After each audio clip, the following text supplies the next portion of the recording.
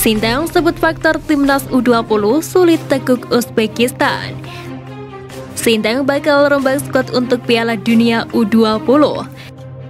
Kepastian Justin Hapner perkara pemanggilan kewarganegaraan.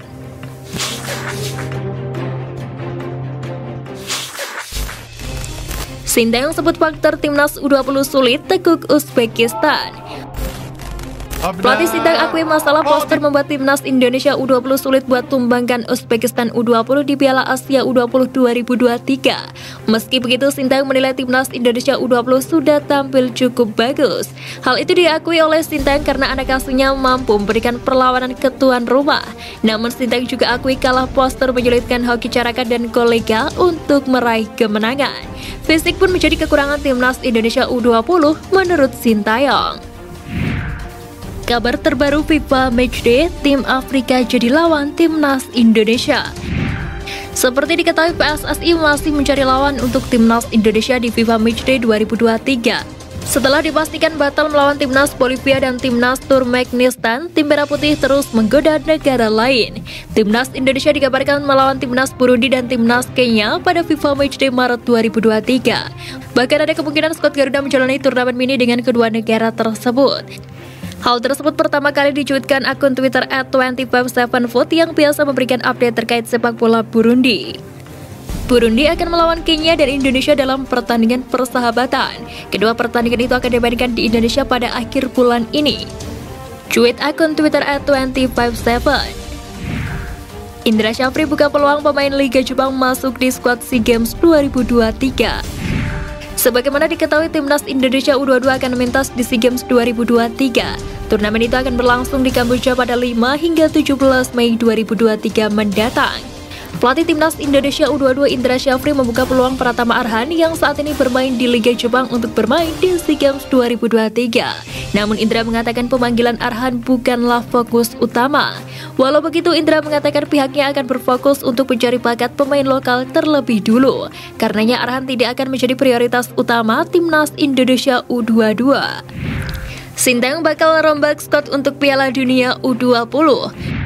Juru taktik timnas Indonesia U20 Sintang mengalihkan fokus ke Piala Dunia U20 usai skuadnya gagal melaju ke Piala Asia U20 2023. Setelah itu pihaknya akan melakukan perubahan dalam timnas Indonesia U20 untuk mengarungi Piala Dunia U20 2023 yang akan berlangsung di tanah air pada 20 Mei hingga 11 Juni mendatang.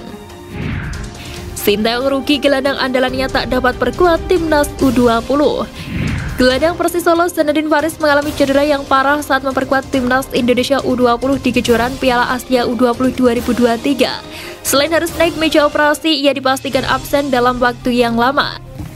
Cedera yang dialami Zinedine Faris ini terjadi saat menjalani latihan bersama timnas Indonesia U20 menjelang laga perdana grup A Piala Asia U20 2023 melawan Irak U20.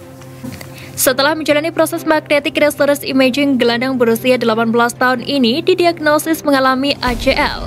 Menurut penjelasan Persis Solo, Sanadin Faris harus menjalani operasi untuk memulihkan cederanya tersebut. Bahkan dia harus melakukan rehabilitasi selama 8 bulan. Tesnya Timnas Indonesia U22 tahap pertama berakhir, Indra Syafri coret belasan pemain. Pelatih Timnas Indonesia U22 Indra Syafri melakukan pencoretan pemain seiring berakhirnya pemusatan latihan tahap pertama.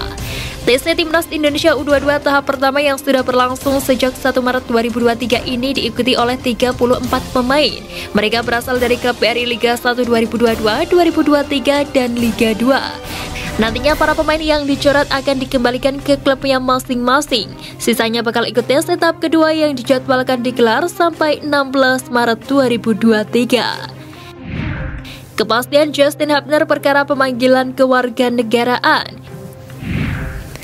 Justin Hapner sedang hangat diperbincangkan lantaran pemanggilan dirinya ke timnas Belanda U21. Hasani Abdul Ghani memberikan statement terkait Justin Hapner. Menurutnya, hati Justin hanya untuk timnas Indonesia. Di lain sisi kabarnya Hapner menunggu kepastian dari PSSI untuk penyelesaian proses naturalisasinya.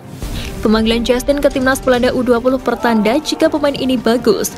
Justin lebih memilih timnas Indonesia. Bersama federasi kami ingin menyelesaikan masalah status Justin Hapner sehingga mereka segera dapat membela timnas Indonesia. Ungkap Hasani. Hapner. Oh,